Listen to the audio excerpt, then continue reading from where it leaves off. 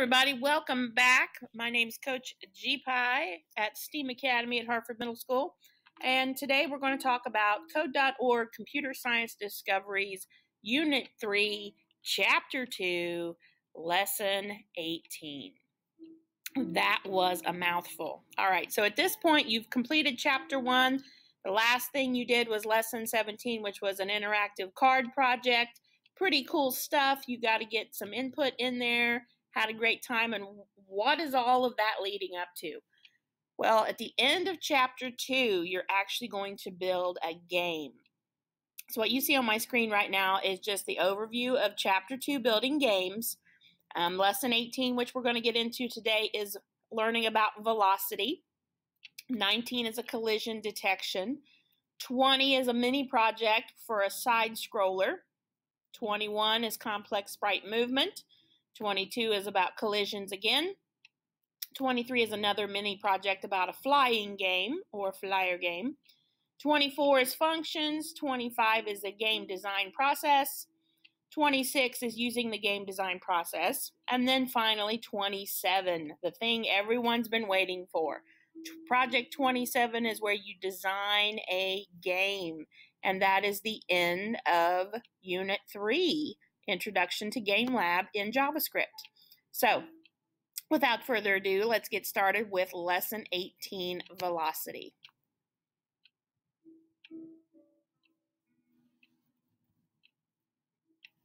All right, so our question of the day here is, how can programming languages hide complicated patterns so that it is easier to program?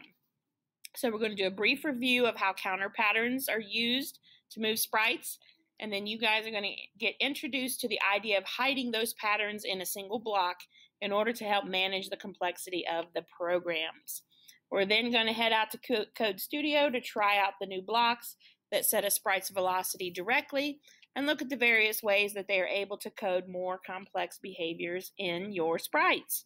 So you've got three new blocks here. You've got sprite.rotation speed, sprite.velocity_x, and sprite.velocity_y. So let's get started.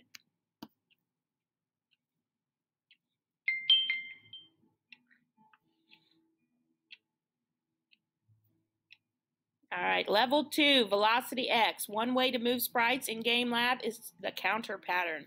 For example, sprite1.x equals sprite1.x plus 1 moves the sprite by one pixel each frame of the drawing loop. This pattern is so common that sprites have a velocity x property that does this for you. Do this. Drag a sprite.velocityx block directly below where your sprite is created. Write the name of your sprite in the block. Assign the velocity x property a value of 1. Run the code. See what happens. Then rerun the code, giving the velocity x property a different value. And we're going to take a look at what's changing. All right, so I'm going to hit run to see what I got. I got a fish and a fish scene and nothing more. Okay, so it wants me to add something. I'm going to click this show me where. All right, add your block here. Okay, so I need a sprite dot velocity x, that's what it said.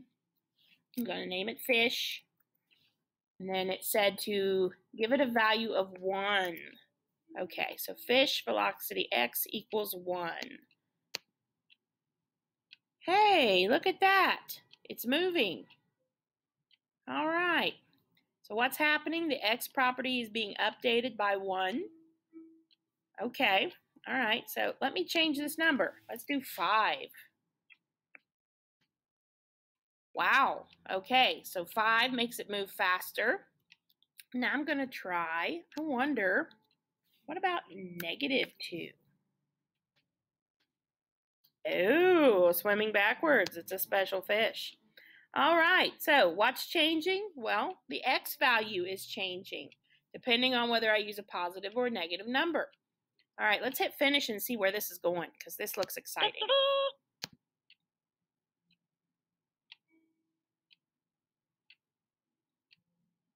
Questions to consider. Why might you want to use a velocity block instead of the counter pattern? and give an example of a counter pattern and how you could use a velocity block instead. I'm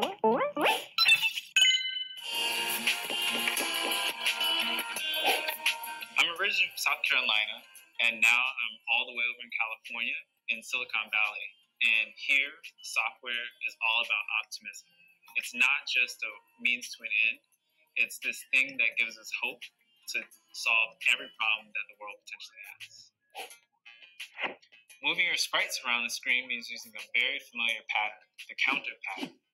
This pattern lets you add to the position or rotation of your sprite on each tick of the draw loop, so it looks like it's moving or rotating at different speeds. Here's an example we've seen before. Using the counter pattern with the sprite's x property, we can control a sprite's velocity, how fast it's moving in a particular direction. If we add a larger amount to the x position, the sprite looks like it's moving faster. Adding a smaller amount makes the sprite look like it's moving more slowly. You've been using the counter pattern to control a sprite's velocity a lot. In programming, when the same pattern happens many times, you can often hide those details inside another block. In our example, that block is velocity x. The velocity x property hides the details of the counter pattern that changes the sprite's x position. Whatever number you assign to this property will automatically be added to your sprite's x position on the next tick of the draw loop. This program creates a sprite, gives it an animation, and then draws it on the screen. Now let's give that sprite a velocity by setting its velocity x property to 1, just once, at the beginning of the program. When we rerun the program, we see that the sprite's position is updated. Under the hood, the velocity x property and the counter pattern are used to update the sprite's position, moving it across the screen. The other new properties that work in a similar way are velocity y, which controls velocity in the vertical direction, and rotation speed, which controls how fast the sprite rotates. The under the hood behaviors of velocity x, velocity y, and rotation speed are all things you've tackled in previous lessons. Now, we get to let those blocks handle the details for us and explore new ways of moving sprites on the screen. Awesome. I'm excited for this one.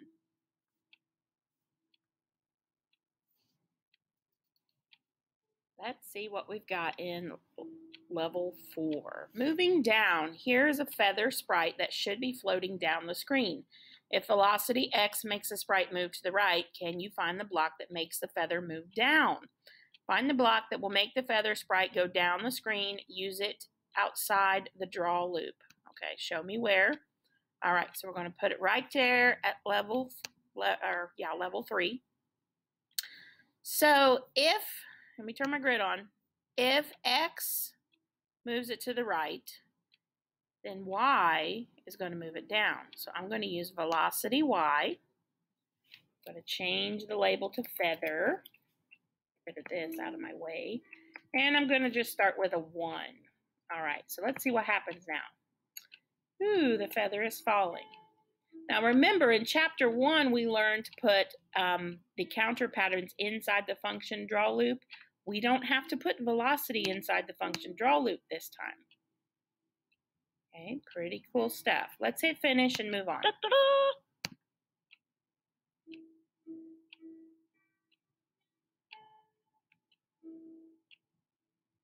Level 5, rotation speed. You can use rotation speed to make your sprites spin. If you want your sun to rotate by 2 degrees each time it's drawn, you can use the sun rotation speed gets 2 before the draw loop after you create the sprite. Do this. Make the sun rotate by 3 degrees each time using this rotation speed block.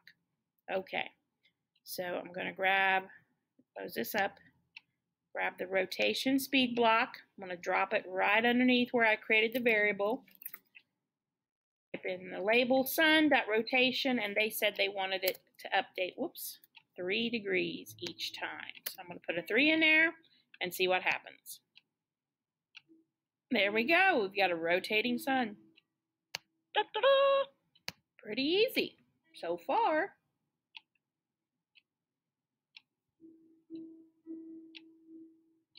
Level 6, controlling speed. You use rotation speed outside the draw loop to make your sprite rotate when the program started. You can also use rotation speed inside the draw loop to change the speed of the sprite during the game. For example, a sprite can start rotating when the user presses the space bar and it will keep rotating until it's told to stop. Do this. Locate, or sorry, look at the if statement inside the draw loop that checks whether the spacebar has been pressed. Use the rotation speed block to make the color wheel start spinning when the user presses the space bar. Okay, I'm going to click show me where. Close this up. Okay, so look at this code. Boy, that's super handy. All right, we got a variable wheel, function draw, background blue, Wheel starts spinning when the user presses the space bar, space bar down. So now we're going to do sprite.rotation, and it's called wheel. That's the label. And I'm just going to set it at 2. All right, so let's see what happens. Starts at nothing. I'm going to hit my space bar now. And the wheel starts spinning. How cool is that? Right, let's see what else we're going to get uh-huh. into today.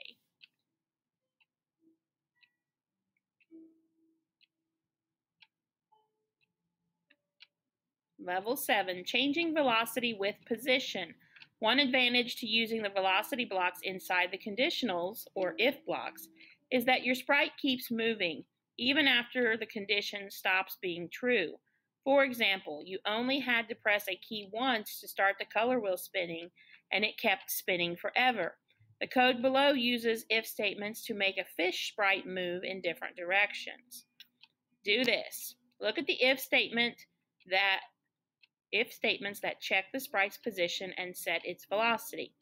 With your partner or with yourself, discuss what you think the code will do and write your answer below. Once you have submitted your answer, run the code. All right, so let's look. We've got fish, the velocity set to 2. So I think the fish is going to start moving to the right because velocity x equals 2. So that's adding 2. So the fish is going to start by swimming to the right. Then we've got draw background if fish is x is less than 0 then the fish animation is fish r and the velocity is 2. Once the fish x becomes greater than 400, then the fish is going to change to fish L, and the velocity is going to be negative 2. Ooh. So I think what's going to happen here is this fish is going to swim back and forth across the screen. And I think the sprite is going to change directions. Fish R, I bet that's fish right, and fish L, I bet that's fish left. The fish will change directions and swim back and forth across the screen and also change sprites. All right, so let's hit run and see if I'm correct. Swimming to the right. Swimming. Ooh, I was correct. Swimming to the left. Oh my goodness, how fun is that? All right, so let's hit finish. One more time. Boom. Okay, let's hit finish and move on. Da -da -da!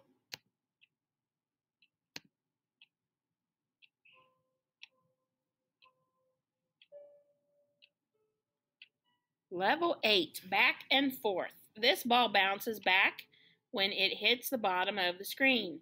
Can you make it bounce back when it hits the top of the screen? Do this. Run the code and see how it works. Look at how conditionals and velocity are used to make the ball bounce at the bottom of the screen. oh my goodness, look at that. They got an extra E. A misspelling. Add code to make the ball bounce at the top of the screen. Okay, so I'm going to hit run, see what I got bounce. and it flies away. Okay. So this is kind of like the fish left and right, but now we're doing up and down. So if ball dot y is greater than 380, because that's at the bottom of the screen, remember, show grid. The large y numbers are at the bottom. Then the ball velocity y gets a negative 5, meaning it starts to bounce the other direction. So now I'm going to use another if statement. So if ball dot y, oh, I probably need a math block, is less than, okay, so if ball dot y, now why did I choose a less than? Because I'm talking about these numbers up here, okay, y. So if ball dot y is less than 2, because remember all the way at the top is 1, less than 2, then I want ball velocity y to equal positive 5. Whoops, I messed that up. Ball dot velocity y positive 5. And this shouldn't be sprite, this should be ball. Okay, let's see if I'm right. Reset, run. Should bounce. And should bounce. There we go. Now, once again, why did I choose 2?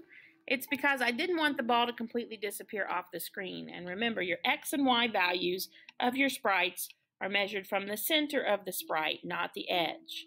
So I wanted that ball to still remain mostly on the screen to look like it is in fact bouncing from the top of the screen. And that's it. Let's move forward. Da -da -da. All right. I choose our own. Let's see what we're doing. I'm going to choose the paintbrush. and remember, if you do both, I'll give you a bonus. All right, dip the paintbrush in the paint. Use a conditional to send the paintbrush down if the down arrow is pressed. Use a different conditional to send the paintbrush up if it reaches the palette. Hint, you will need to check its Y property. Need to check its Y property.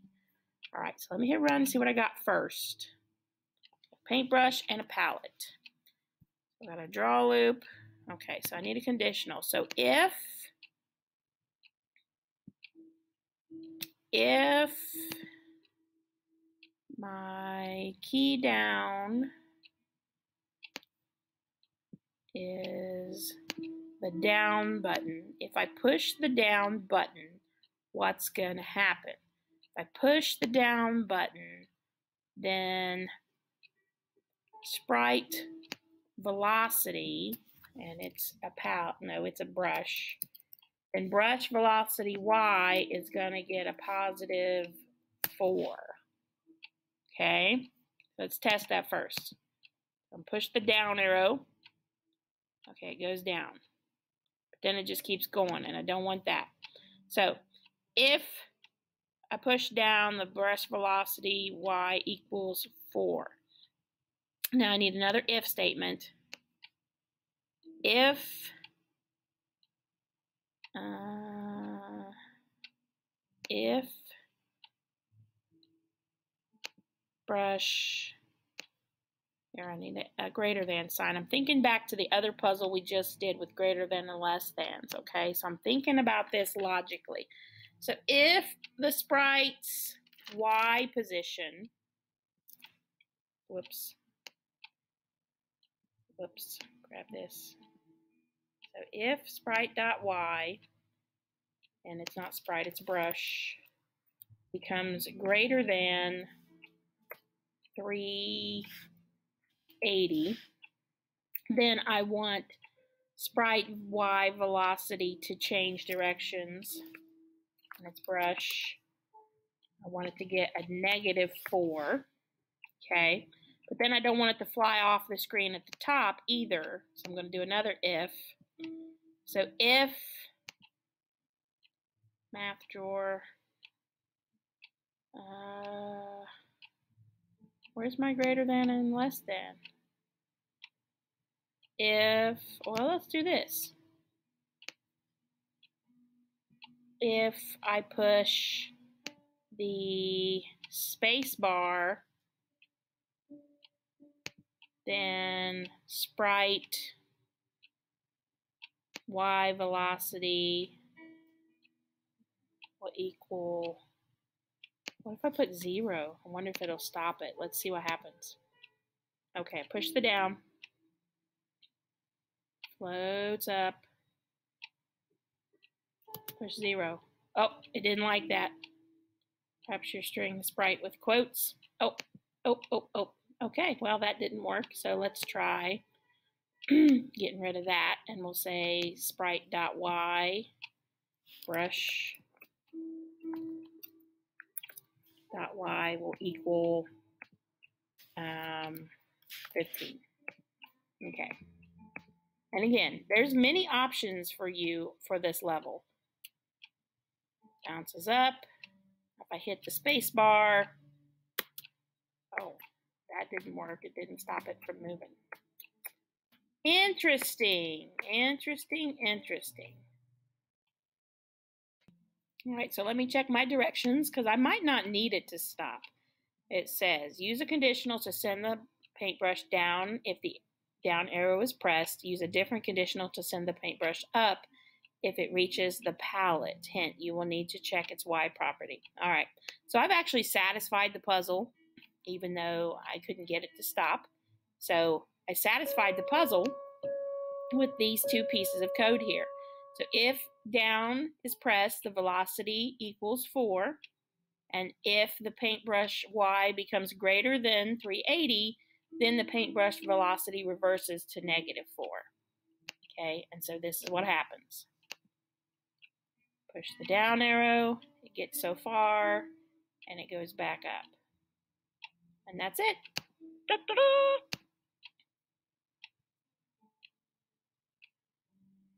All right, I'm going to hit finish. and let's see what we've got for our assessment level. All right, so the code below should make the fish start moving right as soon as you press run. Using conditional statements and the velocity block, you can make it continually swim back and forth. Do this. Look at the three if statements inside the draw loop. Use a sprite dot velocity x block inside each if statement to make the three following movements. If the user presses the right arrow key, move the fish to the right. If the fish gets to the right hand side of the screen, move the fish to the left. If the fish gets to the left hand side of the screen, stop the fish. All right, folks. So assessment level time. Let's see what you can do. It's combining a lot of different things that we just learned about in the previous levels here. So good luck with that. And then last but not least, your challenge level. Looks like we got a couple options here, not many. Changing course. Can you change velocities four separate times? Ooh, looks interesting. So that's it for lesson 11 velocity. Remember, when we're talking about gameplay, the ability for sprites to move is very important. So hope you have fun with lesson 18, and I will see you later.